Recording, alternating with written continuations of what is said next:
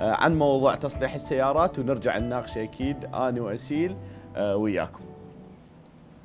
تعد صيانة السيارة من أهم ما يجب القيام به عند اقتناء واحدة منها وذلك للحفاظ عليها وإطالة عمرها والحصول على أفضل أداء منها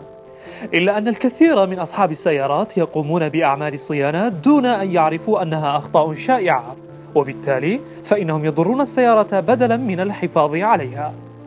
تحتاج السيارة إلى العديد من الاهتمام والمحافظة بكافة أجزائها لتجنب إصابتها بالضرر أو العطل أو تقليل الأضرار الناتجة عن ذلك عند تعرضها لصدمة أو حادث معين. الصيانة في العراق تشمل طرقا متعددة ومن هذه الطرق الصيانة عند الشركات الرصينة والمسجلة وهذه الصيانة تكلف العراقيين مصاريف عالية أكثر من بقية الصيانات. أما الصيانة الأخرى فتكون بالمركز الصناعي الخاص بالمدن